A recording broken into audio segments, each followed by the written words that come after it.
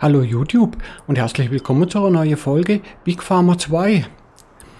Ja, ich war jetzt nur kurz im Büro mit meinem Arbeiter, also der Arbeiter, wo jetzt da war, der hat jetzt von mir einen unbefristeten Arbeitsvertrag gekriegt.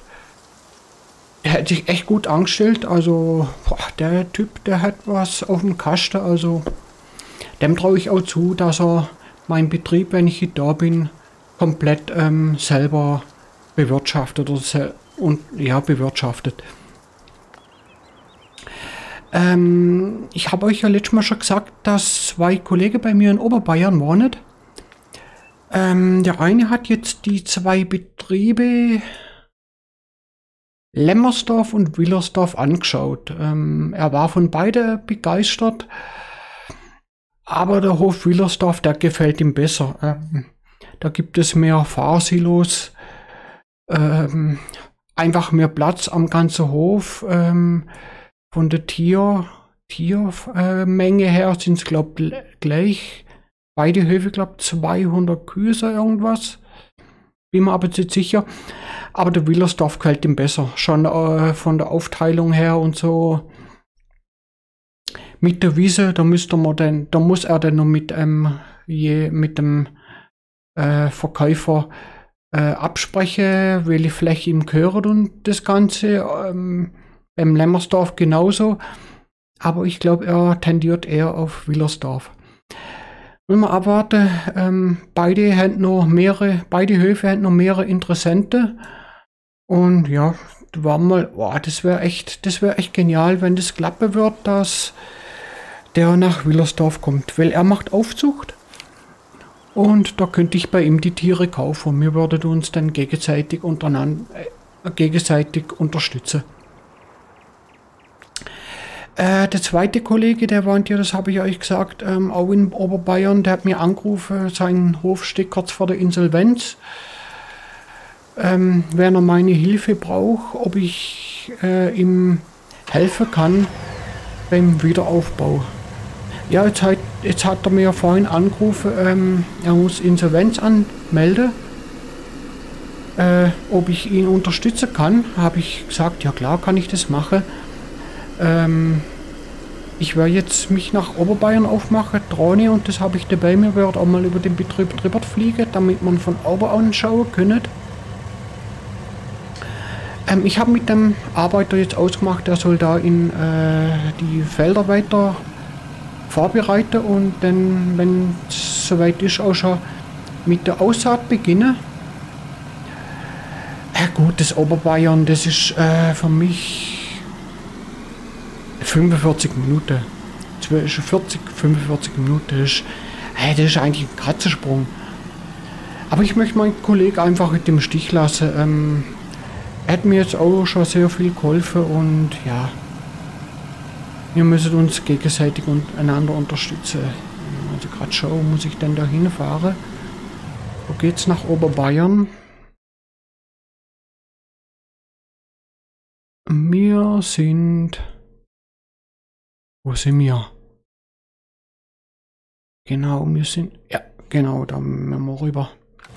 Sind wir richtig darüber, genau.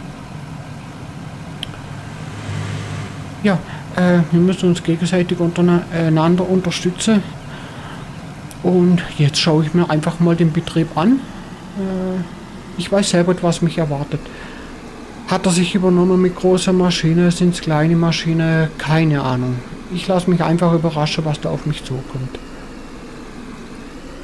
Ja, wir sind in Oberbayern angekommen. Ähm, ich habe mit meinem Kollegen, äh, mit meinem Arbeiter ausgemacht, wenn es irgendwie Probleme gibt oder irgendwelche Neuigkeiten oder sonst irgendwas, soll mich einfach informieren. Hat er gesagt, ja klar, äh, ist kein Problem.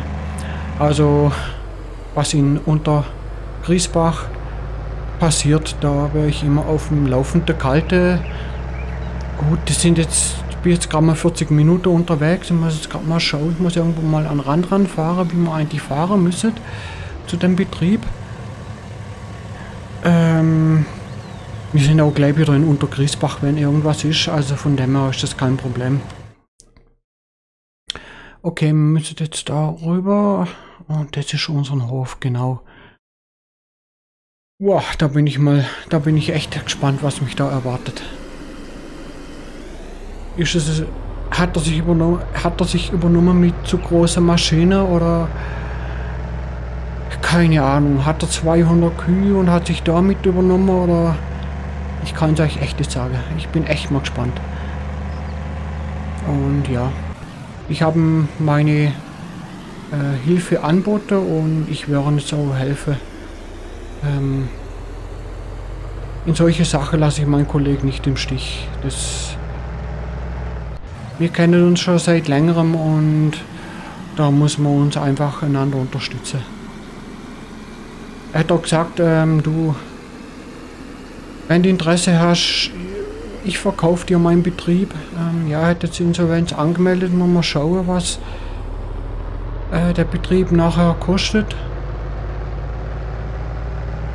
Aber ähm, da möchte ich euch auch gern mit einbinden.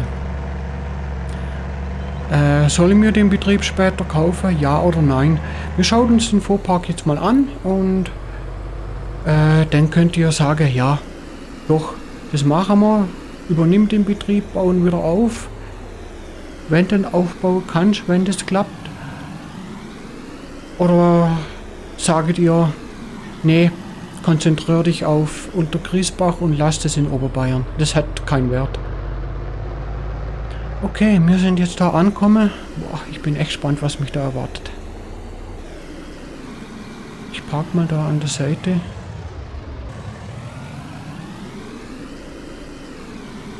Okay.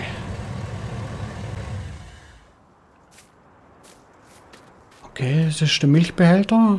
Schon mal gut.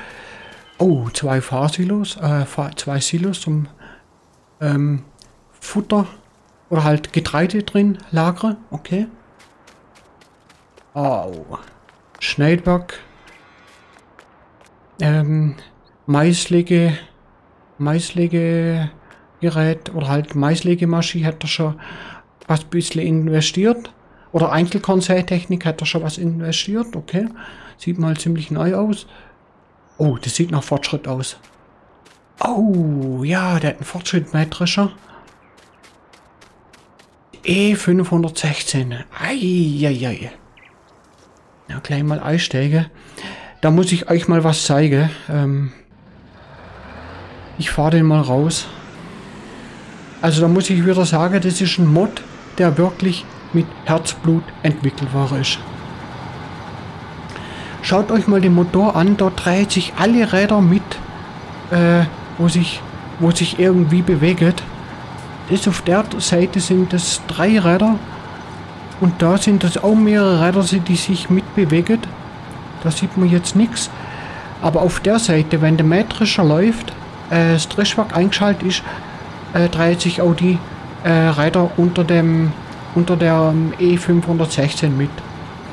Also das ist für mich ein Mod, der wirklich mit Herzblut hergestellt ist. Und da geht von mir wieder ein riesengroßes Dankeschön raus an den Motor, der den Mähdrescher entwickelt hat. Also wirklich Hammer. Und ich kann euch nur empfehlen, spielt öfters mal mit älteren Maschinen. Ähm, da ist neu wie bei neuen Maschinen alles abdeckt. Und das seht ihr auch beim äh, Maschinen, die mit Herzblut entwickelt worden sind, dass sich da wirklich jedes Teil mit äh, mitdreht oder sonst irgendwas. Also, boah, der Mähdrescher der hat mich so begeistert und also Wahnsinn. Okay, dann schauen wir mal weiter an Ursus äh, 1634. Wir schauen dann nachher mal nur in den Farmmanager rein. Äh, der Fuhrpark. Das ist ein Fortschritt. Ne, Belarus müsste es sein. Belarus MTZ sind 25, okay. Ein kleine Kronehänger. Da haben wir Spritze Mähwerk, okay. Boah, Leute, da erwartet uns was. Eieieiei. Ah, dahinter schon ein bisschen Saatgut. Sämaschine. Oh, okay. Das ist ja... Boah, das ist ja gegen unter Griesbach ist das ja schon, ist ja vorsintflutlich. Ein kleiner Gruber. Okay. Dampfstrahlgerät, ja, aber okay, das passt ja. Wir da noch drin? Ein Ladewagen, ja, wie geil ist das denn? Ein kleiner Ladewagen. Solche sind bei uns noch vor 20 Jahren im Dorf gefahren. Ja, wie geil ist das denn? Ein kleiner Heuwender. Boah, Leute, da... Eieiei. Schreibt mal in die Kommentare, sollen wir das wirklich, das Projekt wirklich, äh, sollen wir den Hof wirklich aufbauen oder sagen ja, nee, vergiss es. Ähm, konzentriere dich auf Untergriesbach. Da haben wir einen kleinen Hänger. Okay. Brandner. Ähm, Silage. Oh, Silage-Profi. Okay. Ah, geil. Okay. Schauen wir gerade mal, haben wir auch Kühe. Also da rennen schon mal welche rum. Okay. Dann kann man schauen. Ah, das können wir da schauen. Ah. Zehn Kühe haben wir, okay. Ja, die sind auch alle gefüttert. Äh, Gläsilage, das hat er gesagt, das müssen wir noch am Shop holen. Da steht ein Hänger schon bereit. Ähm, da können wir das gleich aufladen. Äh, ja, müssen wir mal schauen. Ähm, ja, er hat gesagt, er überlässt mir das selber. Er hat äh, im Schluss vergangen, er hat keinen Bock mehr. Ähm, wenn ich Interesse habe, soll ich ihm den, soll ich den Betrieb wieder aufbauen. Er möchte, er würde mir gern verkaufen. Das Insolvenzverfahren äh, Verfahren läuft jetzt. Ja, dann schauen wir mal, ähm, was dabei rauskommt. Aber schreibt es in die Kommentare. Ich hätte echt Bock zum den Betrieb aufbauen. Ja, kleine Maschine. So ein bisschen oldschool. Neben unter Griesbach. Ist echt weit entfernt, sind nur 45 Minuten. Das wäre echt geil. Also, ähm, ja, da ist eure äh, Meinung jetzt mit gefragt. Okay, kleines Güllefass. Ah, da hat schon ein bisschen was investiert. Ähm, Güllefass ist jetzt auch nicht mehr so oldschool. Der kleine Hänger da ist jetzt auch gerade, ja. Äh, für unseren Betrieb reicht es für 10 Kühe. Äh, genau, Futtersilos. Ähm, ein Silo hat ja 39.000 oder 32.000, so irgendwas. Hm, wir können gerade mal schauen, was haben wir denn insgesamt jetzt? 93.000 Liter können wir also lagern. Ja, das sind ähm, drei Hochsilos. Da eins und da drüber eins. Gut, wir könnten jetzt äh, auch sagen, wir machen die beiden Bäume da weg. Da könnte man dann auch nochmal so drei bis vier äh, Silos platzieren. Also das wäre jetzt kein Problem. Ja, äh, da haben wir jetzt alles gesehen. Das, ja, Güllefass. Kühe, ja, haben wir 20 Stück. Ähm, da sind ja schon Balle hingelegt, die sich dann automatisch auflösen, wenn äh, Futter benötigt wird. Darüber haben wir einen Strohball schon hingelegt, der sich dann auch automatisch auflöst. Mit deiner Balle, die muss, müssen da raus. Da komme ich mit dem Schlepper schlecht ran, zum die ähm, aufspießen. Äh, die lagern wir irgendwo in einer Halle, dass man sie dann immer wieder da hinlegen können. Äh, dass es sich dann automatisch auflöst. Aber da müssen wir gerade mal schauen, was wir da für Halle haben. Oh, ein Schwader haben wir auch schon, okay. Äh, ja, das ist jetzt da haben wir eigentlich alles. Und man kann da noch reinschauen. Was haben wir denn da? Okay, also da hätten wir jetzt mal Platz für die Balle zum drin lagern. Ähm ja, das ist die Presse, genau. Da muss ich euch noch was zeigen, kurz. Wenn wir schon dabei sind. Ähm, mal kurz abhängen. Ja, genau.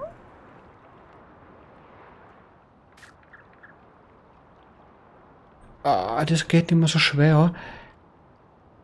Da klemmt der Kugelkopf immer wieder. Ey, da muss man echt mal fett dran machen. Da könnte, da kannst du, da, da kannst du bald äh, den Kreuznagel aushängen, bis du das Ding entkoppelt hast. Boah, das gibt's Idee. Das. Boah, da muss ich nächstes Mal echt fett nachmachen. Ich weiß nicht, an was das liegt. Normal müsste es doch. Boah, da, da, da, ich muss jetzt erstmal kurze Pause machen, da reinst du echte Kreuznagel aus. Ja, die Abkopplerei, die war jetzt aber schwerer gebaut. Heieieiei. Kann man echt mal Fett dran machen. Das ist echt nicht mehr normal. Und auch schon der Sound von deinen Traktoren, also... Halt, das ist die falsche Halle. Ich kann es euch echt ans Herz legen. Spielt öfters mal mit so alter Maschine. Die macht sowas von Spaß. Ähm, gut, äh, also ich muss es echt sagen, ich habe jetzt äh, zum das Projekt oder zum das Projekt Oberbayern einrichte, habe ich jetzt so circa 7 bis 8 Stunden braucht. Ähm, viele Maschine, gerade die ältere Maschine passt mit der Gruppe zusammen. Ich wollte an den äh, an den Belarus, na, an den Ursus, wollte ich schon modernere Gruppe anhängen, aber das sind die äh, Schare so lang, dass der sich gar nicht ausheben lässt. Also wenn der aus, auskippt ist, streift er immer noch auf dem Boden. Und ja, da habe ich lang gesucht, bis ich den Gruppe gefunden habe. Also das ist jetzt, es sind glaube ich nur mal zwei Gruppen dabei, aber die gefallen mir von der Textur her jetzt so toll, die wirklich an die alte Schlepper dran passen.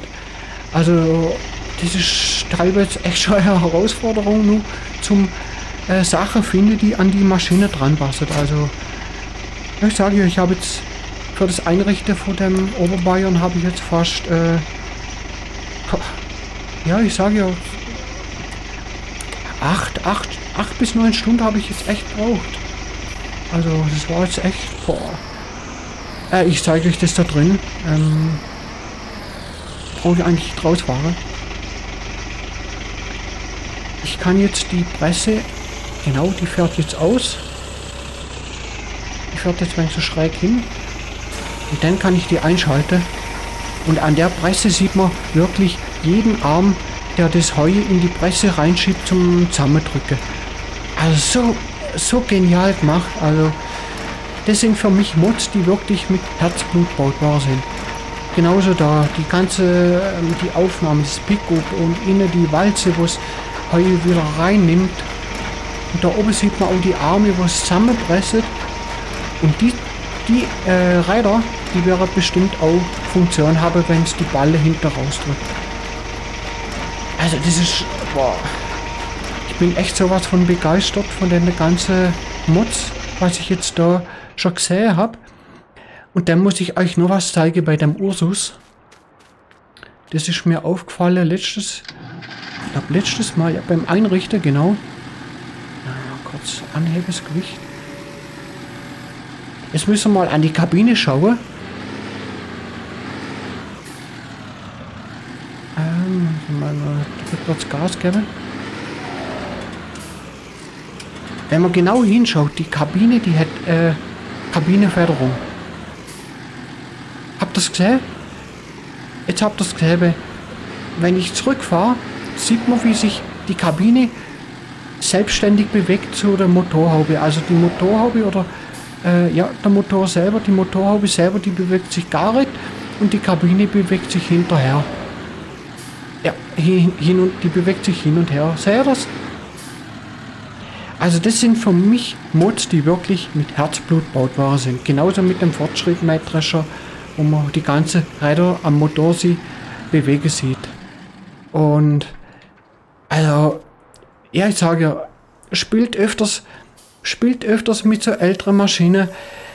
Das macht echt einen riesen Spaß. Und ja, die Mods haben es echt verdient, dass sie einfach mal gespielt werden. Äh, ich kann es äh, mehr wie genug sagen. Genauso der alte Ladewagen. Da gibt es mehrere so ältere Ladewege, aber keiner, der an den an meine beiden Schlepper dran passt.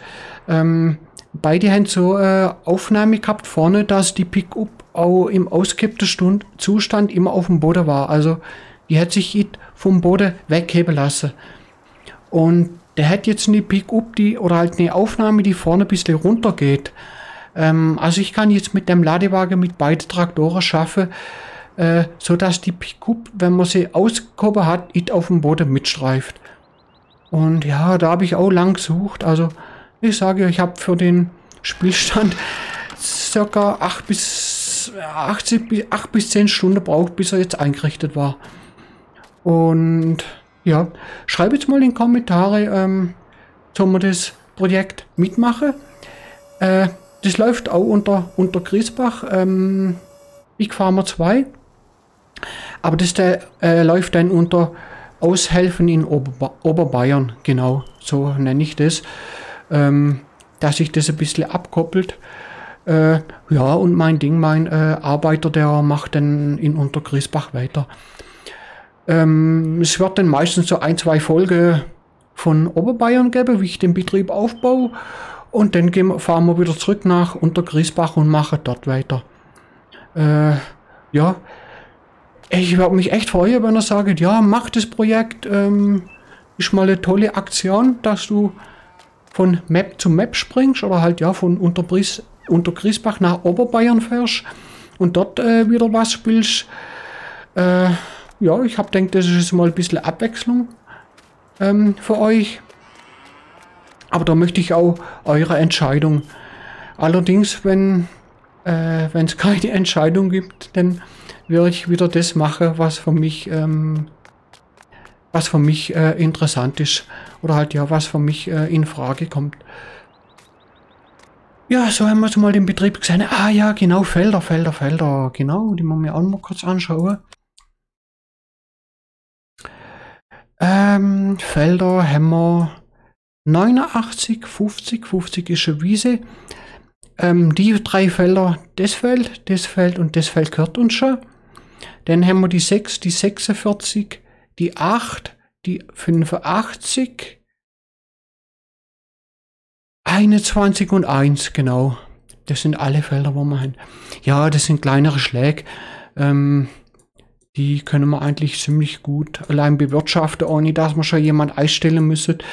Ich denke mal, da kommen wir mit dem 3 Meter Gruber eigentlich ziemlich gut klar äh, von der Zeit her. Ja, äh, ähm, das war's eigentlich schon mal, ja, genau.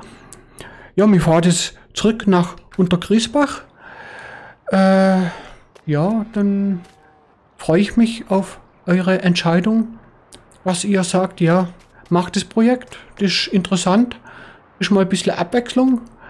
Oder sagt ihr, nee, vergiss es, das bringt nichts, den Hof aufbauen. Ähm, das, äh, das bringt, kannst du echt aufbauen. Ich habe einen Betrag von 0 Euro ähm, ich müsste sowieso noch Schulter aufnehmen. Die Schlepper sind alle gewartet. Ja, kein Benzin drin. Wartung muss auch gemacht werden.